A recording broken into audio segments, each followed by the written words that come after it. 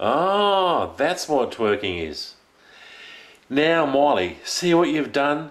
You've inspired or corrupted heaps of people all around the world to start twerking. Bad.